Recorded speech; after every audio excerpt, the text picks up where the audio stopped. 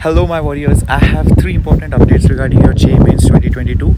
The first one is regarding the registrations which have opened up for the second attempt. So, by chance, let's say you have not yet registered, make sure you do that right away before the window closes back again.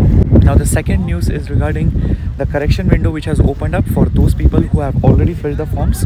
So, there are few things which you can change. So, I will attach the official notification below.